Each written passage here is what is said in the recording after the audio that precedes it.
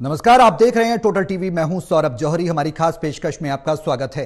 हरियाणा विधानसभा चुनाव को लेकर बीजेपी और कांग्रेस दोनों ही पार्टियाँ टिकट को लेकर बड़े पैमाने पर मंथन कर रही हैं। चुनाव समिति की प्रदेश स्तर पर हुई बैठक के बाद आज दिल्ली में बीजेपी की छोटी टोली की बैठक होने वाली है। इस बैठक में चुनाव प्रभारी धर्मेंद्र प्रधान, सीएम नायब सैनी, प्रदेश अध्यक्ष मोहनलाल बडौली सरीखे, बड़े दिग्गज शामिल होंगे। कल होने वाली चुनाव समिति की बैठक से पहले इस बैठक को काफ़ी अहम माना जा रहा है। दिग्गजों को चुनाव में उतारने, साथ ही मैदान में उतारने की पूरी तैयारी पार्टियाँ कर रही हैं। टिकटों के वितरण में इस बार पार्टी बड़ी सावधानी बरत रही है। खबर है कि लोकसभा चुनाव में हारने वाले उम्मीदवारों और पूर्व सांसदों को भी चुनाव मैदान में उतारने की तैयारी है। साथ ही पार्टी की नज़र ज़मीन पर पकड़ और प्रभाव रखने वाले नेताओं पर भी है। एंटी इनकम्बेंसी को भी साधना पार्टी के लिए बड़ी चुनौती है। ऐसे में क्या कहती है बीजेपी की रणनीति? यह सवाल है।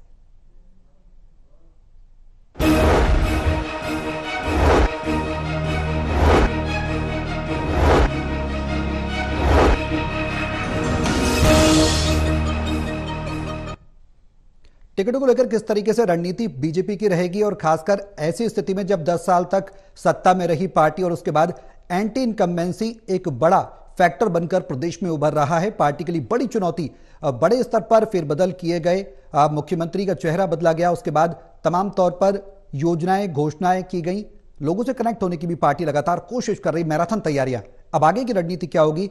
टिकट वितरण क्या पार्टी के लिए आसान होगा? क्योंकि कुछ क्षेत्र ऐसे भी है जहाँ पर एक सीट के लिए तीन तीन दावेदार है पार्टी के सामने।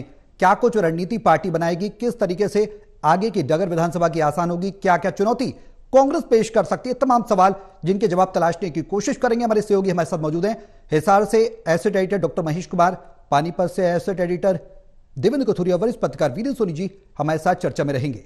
आप सभी के साथ मैं चर्चा को आगे बढ़ाऊं, लेकिन उससे पहले एक रिपोर्ट दिखाते हैं। रिपोर्ट देखिए, फिर करेंगे चर्चा की शुरुआत।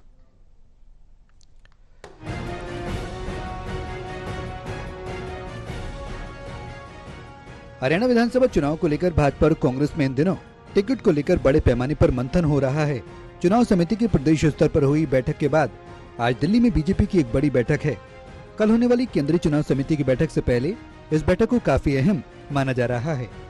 इसमें चुनाव प्रभारी धर्मेंद्र प्रधान, मुख्यमंत्री नायब सिंह सैनी, प्रदेश अध्यक्ष मोहनलाल बडोली, प्रभारी सतीश पुनिया और सह प्रभारी विप्लव देव और सुरेंद्र नागर सहित सभी बड़े नेता शामिल होंगे। आज की इस बैठक में जेपी नड्डा भी शामिल हो सकते हैं। बीजेपी क्योंकि पिछले दस सालों से सत्ता में है। ऐसे में उसके खिलाफ एंटी इनकम्बेंसी फैक्टर बड़े पैमाने पर हावी है। पार्टी से ध्यान में रखते हुए टिकटों को लेकर विशेष सतर्कता बरत रही है। मिली जानकारी के मुताबिक पार्टी उन्हीं उम्मीदवारों पर दाव लगाने की तैयारी कर रही है, जिनकी फ़ील्ड में मौजूदगी सही पैमाने पर है।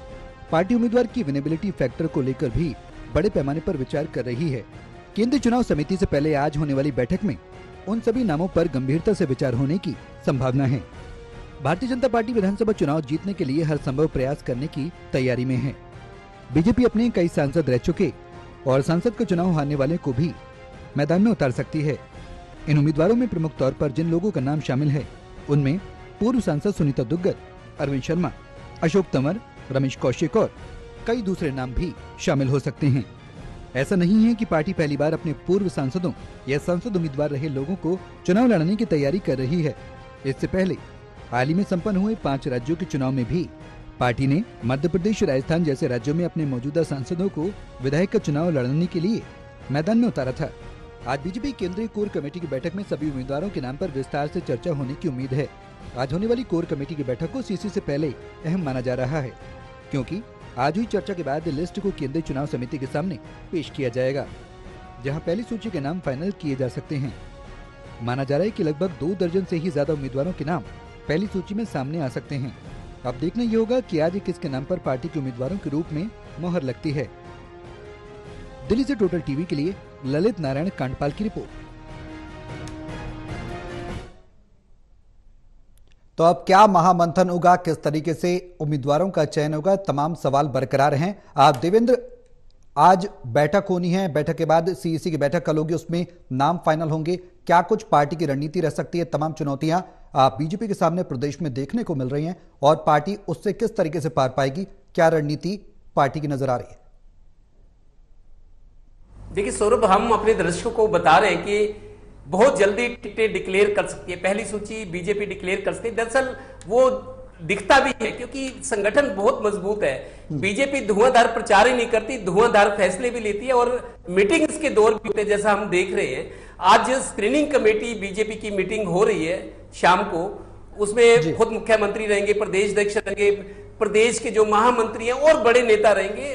कुछ और लोग भी हो सकते हैं जो इंपॉर्टेंट है इस मीटिंग के लिहाज से। तो आज मेरे को लगता है कुछ नामों पर मंथन कर लिया जाएगा ताकि कोई चूक ना रहे।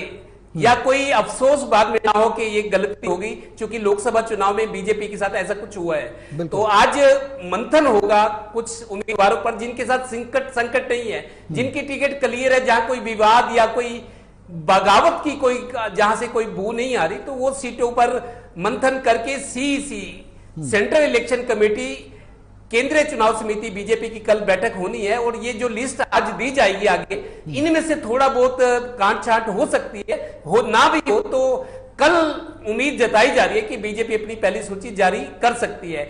इसी वजह से जितनी तेज गतिविधियाँ चल रही है संगठन के स्तर पर बड़े नेता हैं दिल्ली में हरियाणा में सात लोग लगे हुए हैं। अभी जो मीटिंग होगी उसके मेरे को चौबीस घंटे से पहले अगली मीटिंग होनी है। तो पहली सूची जारी हो सकती है और जो लोग टिकट की लाइन में है दावेदार है एक नई चीज़ जो सामने हम देख रहे हैं कि पूर्व सांसदों को हारे हुए लोकसभा प्रत्याशियों को भी पार्टी चुनाव में उतार सकती है परख कर उतारेगी उनकी ज़मीन मज़बूत हो तो इसका मतलब ये भी है कि बीजेपी हर हालत में हैट्रिक मारना चाहती है और ये भी ये भी नज़र आ रहा है कि कहीं ना कहीं पार्टी में घबराहट है। जो एंटी इनकम्बेंसी का फैक्टर है लगता है बीजेपी के पास सभी सीटों पर पूरे मज़बूत उम्मीदवार नहीं है। इसी वजह से जो कदावर नेता है जो चलो लोकसभा में हार गए या सांसद थे उनको कुछ को उतारा जा सकता है तो मिश्रण होगा मेरे को लगता है। वरिष्ठ नेताओं का और युवा नेताओं का एक मिश्रण हो सकता है। नब्बे सीटों पर मज़बूत उम्मीदवार ना होने की वजह से मेरे को लगता है ये फैसला हुआ है कि उन लोगों को भी साथ लेकर चला जाए। युवा चेहरा और अनुभवी दोनों की टीम को मैदान में उतारा जाएगा उम्मीदवार बनाकर। और उम्मीद करते हैं कि जैसे अभी मीटिंग होनी है दिल्ली में और कल शाम तक अगली मीटिंग भी हो जाएगी जो केंद्रीय स्तर पर होनी है, और जो फैसला होगा, शायद वो पब्लिक डोमेन में आ सकता है, या ये भी हो सकता है कि नाम मंथन के बाद फाइनल कर लिए जाए, लेकिन अभी घोषित ना किया जाए, ये भी हो सकता है लेकिन बीजेपी चूँकि टिकटों में फाइनल करने में, फैसले लेने में हमेशा सबसे आगे रही तो हो सकता है कुछ नामों का ऐलान कर दिया जाए तो उत्सुकता सभी की बनी हुई है हम्म। महेश, जो रणनीति इस बार पार्टी बनाने जा रही है और बना रही है, उसमें सबसे बड़ी चुनौती क्या है? और सवाल यह कि लोकसभा चुनाव में हारने वाले जो उम्मीदवार हैं, पूर्व सांसद हैं उन पर भी पार्टी की नज़र है। क्या मध्य प्रदेश राजस्थान वाला जो प्रयोग है, वो हरियाणा में देखने को मिलेगा?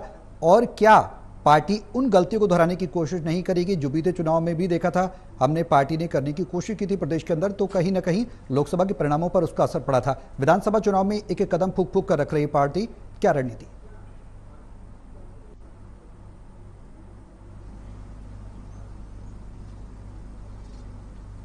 देखिए भारतीय जनता पार्टी के हरियाणा प्रदेश में जो सबसे बड़ी परेशानी है वो है नेताओं के चेहरे की लोकप्रियता का घट जाना चाहे वो प्रधानमंत्री नरेंद्र मोदी के नाम पर हो। यहाँ पर मोदी के नाम पर हरियाणा के वोटर्स से वोट मांगने का काम हरियाणा प्रदेश के विधानसभा चुनाव में मोदी के चेहरे पर वोट मांगने का काम किया जाता था। लेकिन इस बार क्या इस विधानसभा चुनाव में प्रधानमंत्री नरेंद्र मोदी के चेहरे पर हरियाणा विधानसभा के लिए वोट मांगा जा सकता है? हम्म। ये सबसे बड़ा सवाल है। दूसरी बात यह कि घोषणाओं की बारिश यहाँ पर नायब सिंह सैनी की तरफ़ से की गई लेकिन उन घोषणाओं का कितना फ़ायदा भारतीय जनता पार्टी को मिलेगा? फ़ायदे से मेरा मतलब है कि उन घोषणाओं पर कितना यकीन हरियाणा प्रदेश की जनता करने जा रही है ये दूसरा सवाल है। तीसरी परेशानी एंटी इनकमेंसी को लेकर है जो एंटी इनकमेंसी भारतीय जनता पार्टी के खिलाफ खड़ी हो चुकी है उस एंटी इनकमेंसी के स्तर को किस तरीके से घटाया जाएगा। नायब सिंह सैनी अच्छा परफॉर्मेंस दे रहे थे मनोहर लाल खट्टर के बाद पॉजिटिविटी यहाँ पर कार्यकर्ताओं में लाने का काम कर रहे थे लेकिन चूँकि चुनाव आचार संहिता थोड़ा सा पहले या करीब 20-22 दिन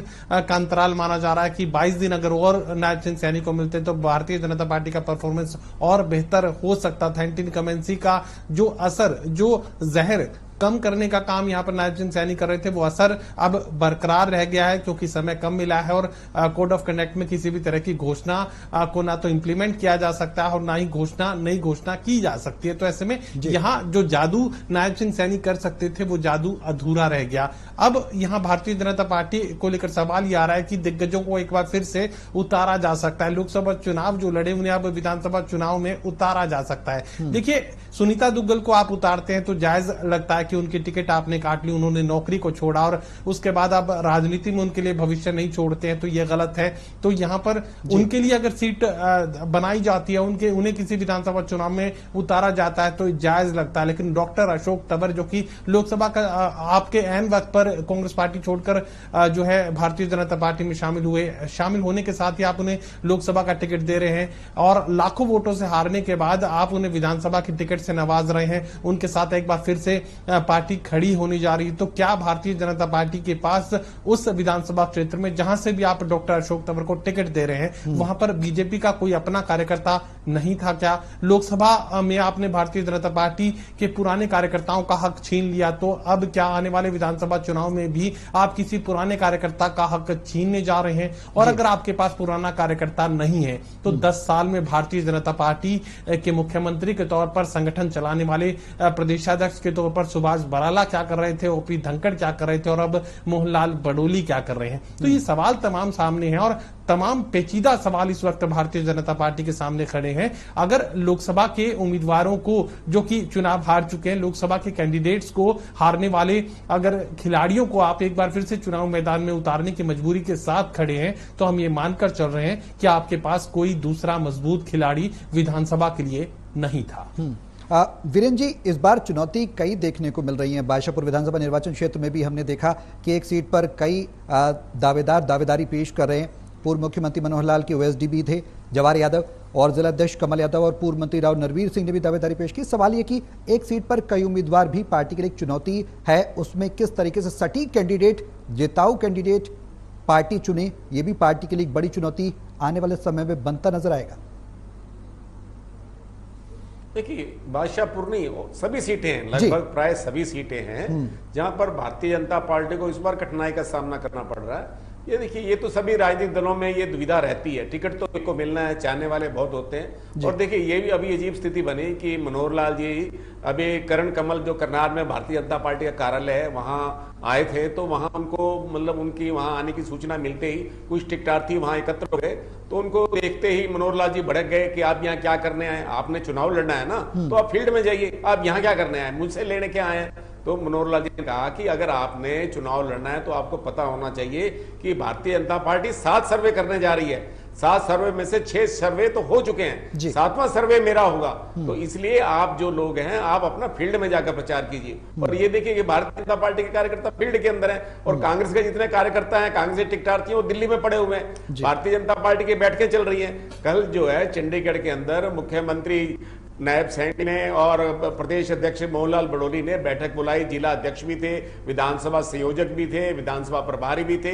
तो कब लगभग 600 कार्यकर्ता बुलाए गए थे तो उसमें से 98 प्रतिशत कार्यकर्ता उपस्थित थे। तो ये देखिए भारतीय जनता पार्टी की तैयारी कितनी है। और ये देखिए जो मंडल अध्यक्ष है उनको पहले ही वित्तीय सहायता दे दी गई है। अभी पहले ऐसा नहीं हुआ करता था। अब मंडल अध्यक्षों के पास भी कोष है चुनाव खर्च करने के लिए पहले से उनकी व्यवस्था कर दी गई है। हम्म। तो भारतीय जनता पार्टी कैसे तैयारी कर रही है और कांग्रेस कितने अति आत्मविश्वास में पड़ी हुई है। कांग्रेस में अभी फ़ील्ड में कुछ दिखाई नहीं दे रहा। कांग्रेस के जो कार्यकर्ता है जो टिकटार्थी है वो दिल्ली की ओर देख रहे हैं। हम्म। तो लेकिन भारतीय जनता पार्टी का संगठन अपनी तरफ़ से चल रहा है अपने काम अलग कर रहा है चुनाव की तैयारियाँ अलग से कर रहा है। लेकिन कांग्रेस में तो पार्टी का ना संगठन ना चुनाव की तैयारियाँ हैं। तो इसलिए देखा जाए कि भारतीय जनता पार्टी के लिए जो स्थिति है काफ़ी इस बार संगठन की दृष्टि से तो मज़बूत है। लेकिन फ़ील्ड में जो है वो जो सरकार विरोधी लहर है उसका असर तो दिखाई दे रहा है। हम्म। आज अगर मुख्यमंत्री मोहनलाल मुख्यमंत्री जो नायब सैनी और प्रदेश अध्यक्ष मोहनलाल बलोडी ने तीन जगह रोड शो किए हैं। तो ये सीटें जो तीनों सीटें थी चाहे नारायणगढ़ था चाहे वो चाहे समाला था चाहे पुंडरी थी वहाँ भारतीय जनता पार्टी पहले हार हार चुकी है। तो वहाँ जो हारी हुई सीटों पर भारतीय जनता फोकस कर रही है हम्म। और एक सितंबर को जींद में बड़ी रैली करने जा रही है। मतलब जींद के अंदर भारतीय जनता पार्टी बहुत बड़ी रैली करने जा रही है इसलिए एक सितंबर की जो समालखा रैली था हम्म। उसको रैली का जो तिथि थी उसको रद्द कर दी गई और अब उसके स्थान पर रोड शो किया गया। तो जींद के अंदर भारतीय जनता पार्टी पूरी ताकत लगा रही है। मतलब जो जो क्षेत्र भारतीय जनता पार्टी से छूते हैं जहाँ भारतीय जनता पार्टी के प्रत्याशी हारे हैं वहाँ पार्टी अपनी पूरी ऊर्जा लगा रही है। जी आ, बिल्कुल वीरेन जी आ, सवाल ये भी कि परिवारवाद भी पार्टी के सामने एक चुनौती है सेटिंग एमएलए को भी साधना एक चुनौती है तमाम चुनौतियाँ हैं ऐसे में आधार अगर कैंडिडेट का माना जाए तो वो कौन सा सटीक आधार होगा जिससे कि उपयुक्त कैंडिडेट निकल कर आ सके और पार्टी को विधानसभा चुनाव में जीत दिलवा सके राजनीतिक सत्ता की दहलीज तक पहुँचा सके हरियाणा में तीसरी बार। देखिए ये चुनौती 2014 में थी। जी। 2014 के अंदर भी भारतीय जनता पार्टी के सांसद हैं अपने परिजनों को टिकट दिलाना चाहते थे। तब मोदी जी से बैठक भी हुई थी। तब मोदी जी ने मना कर दिया था। और ये स्थिति अब बनी हुई है। जी। अब भी 2024 के अंदर जितने भी सांसद हैं वो अपने परिजनों को टिकट दिलवाना चाहते हैं। इसलिए भारतीय जनता पार्टी ने रणनीति बना दी और ये देखिए अखबार में, प्रचारित कर दिया कि जो भारतीय जनता पार्टी के सभी सांसद हैं उनको भी चुनाव लड़ाया जा सकता है। ये सिर्फ़ एक रणनीति है बंदर घुड़की है। क्योंकि जो सांसद अभी जून में जीत के हैं पाँच जून को सांसद निर्वाचित हुए हैं अभी उनको विधानसभा चुनाव में कैसे जोगा जा सकता है? तो ये तो सिर्फ़ एक बंदर घुड़की है ताकि वो अपने परिजनों के लिए टिकट ना मांगे। और देखिए राव इंद्रजीत सिंह ने तो कह दिया अपनी बेटी के बारे में कि वो अपने भाग्य का निर्णय खुद करेगी। कहाँ से चुनाव लड़ना है किस पार्टी से चुनाव लड़ना है इसका निर्णय उसका खुद का है। आरती राव खुद फैसला करेगी। तो भारतीय जनता पार्टी अपना दबाव बना रही है और राव इंद्रजीत अपने पर कह रहे हैं। और जिस तरह अभी अब अशोक तंवर का ज़िक्र कर रहे थे अशोक तंवर ने ये चर्चा में है कि उन्होंने पार्टी में अब चुनाव लड़ने से मना कर दिया है क्योंकि तीन चुनाव तो वो हार चुके हैं। लोकसभा के तीन चुनाव हारने के बाद अब वो विधानसभा चुनाव नहीं लड़ेंगे क्योंकि उनको लग रहा है कि अगर चौथी बार भी मैं हार गया तो उनके राजनीतिक भविष्य पर प्रश्न चिन्ह लग जाएगा। तो इसलिए मुझे नहीं लगता कि भारतीय जनता पार्टी जो सांसद हैं उनके परिजनों को टिकट देने में इतना ढीला रवैया अपनाएगी पार्टी सोच समझकर फैसला लेगी। इसलिए कहा जा रहा है कि जो राज्यसभा के सांसद हैं लोकसभा के सांसद हैं उनको चुनाव लड़ाया जा सकता है जबकि वास्तव में ऐसा नहीं है ये मात्र एक बंदर गुड़की है। हम्म। देवेंद्र इस बार किस तरीके का प्रयोग हरियाणा की सियासत में देखने को मिलेगा? टिकटों के चयन में देखने को मिलेगा? अगर बीजेपी की हम बात करें उम्मीदवारों के चयन में देखने को मिलेगा?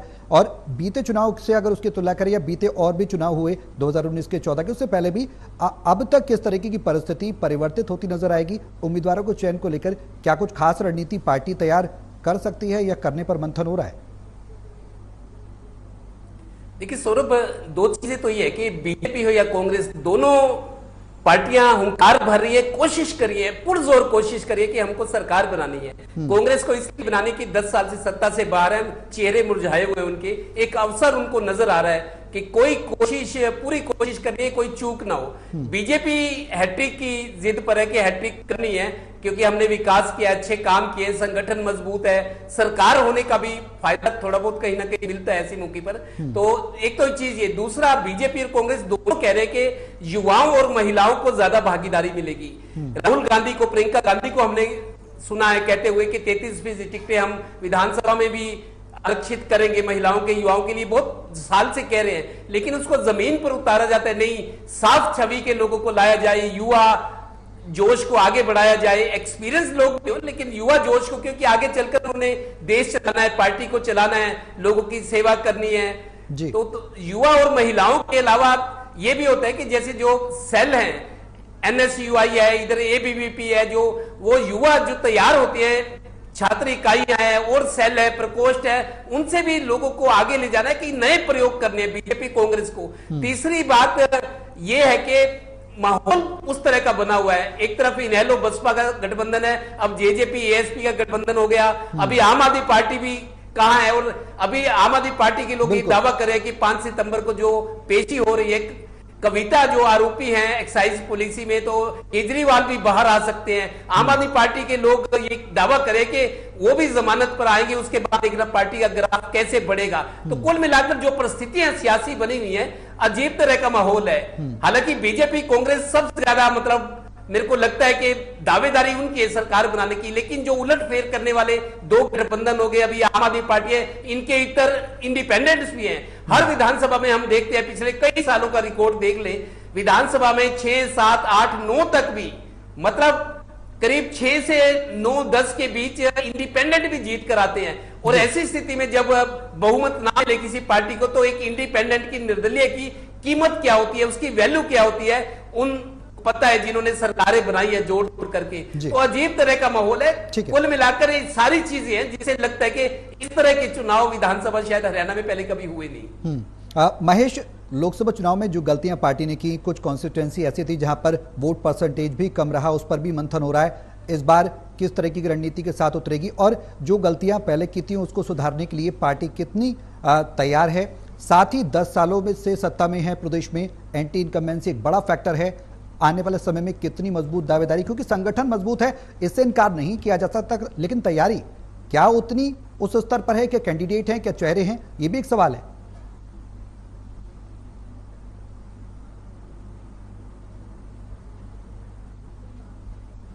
देखिए, भारतीय जनता पार्टी को लेकर ये माना जा सकता है। अभी ज़िक्र चल रहा था कि अगले 24-48 घंटों के भीतर भारतीय जनता पार्टी अपने उम्मीदवारों का ऐलान कर सकती है। लेकिन व्यक्तिगत रूप से मुझे ये लगता है कि इस तरह की गलती भारतीय जनता पार्टी नहीं करेगी। ये गलती लोकसभा चुनाव के दौरान की जा चुकी है। सबसे पहले उम्मीदवारों को भेजने का काम भारतीय जनता पार्टी ने कर तो दिया, लेकिन उसके बाद जिस तरह की परेशानियों का सामना भारतीय जनता पार्टी को करना पड़ा। बार बार ये भी सुनने को मिल रहा था कि भारतीय जनता पार्टी के सामने मजबूरी इस कदर बढ़ चुकी है कि अपने उम्मीदवारों को बदलना पड़ेगा।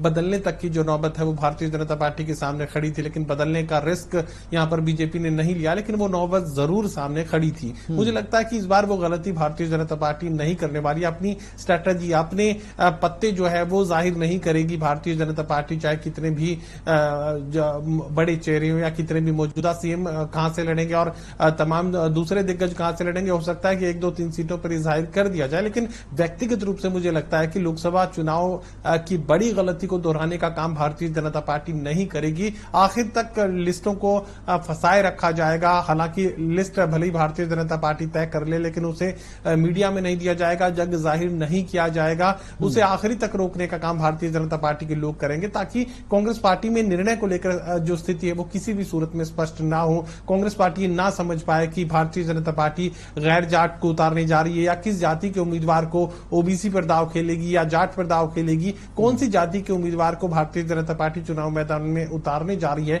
ये कांग्रेस पार्टी के लिए स्थिति स्पष्ट ना हो। आखिरी दिन, आखिरी मिनट तक वो संशय की स्थिति बनी रहे। तो यहाँ पर कांग्रेस पार्टी के लिए निर्णय लेने उतने ही मुश्किल होंगे, वरना काउंटर स्ट्रेटेजी तैयार करनी कांग्रेस पार्टी के लिए बेहद आसान हो जाएगी। तो ऐसे में व्यक्तिगत रूप से मुझे लगता है कि भारतीय जनता पार्टी पहले नामों को ज़ाहिर करने की गलती नहीं करेगी। हम्म। वीरेंद्र जी, कुछ रणनीति पार्टी की स्पष्ट भी हो रही है और कुछ आगे बड़ी रणनीति भी पार्टी बना सकती है। सवाल ये कि लोकसभा चुनाव में जिस तरीके से कैंडिडेट चुने गए और अब आगे की रणनीति में क्या पसंद एक फैक्टर होगा?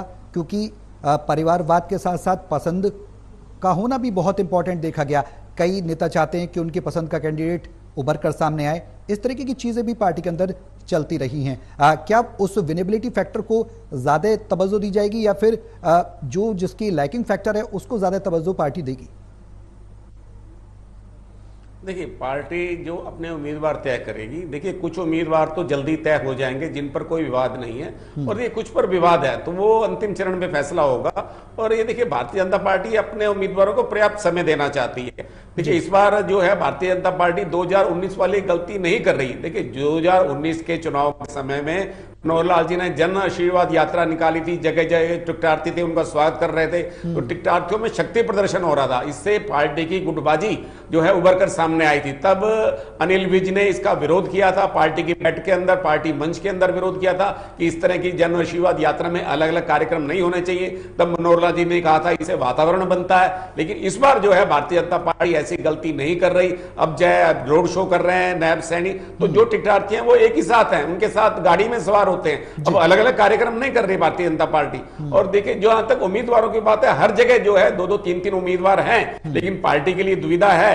क्या जो वर्तमान विधायक हैं उनके खिलाफ भी रोष है पार्टी को इस बात की जानकारी है कि वर्तमान को अगर टिकट दिया जाए तो क्या प्रभाव हो सकता है? देखिए लोकसभा चुनाव में अलग मुद्दे थे।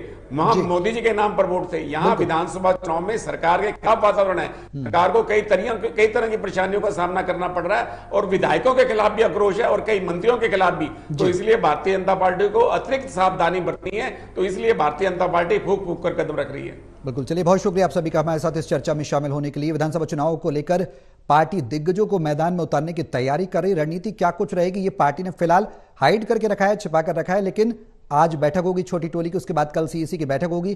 किन नामों पर मोहर लगती है, पहली सूची में किन को दावेदार के रूप में पेश किया जाता है, ये देखने वाली बात होगी।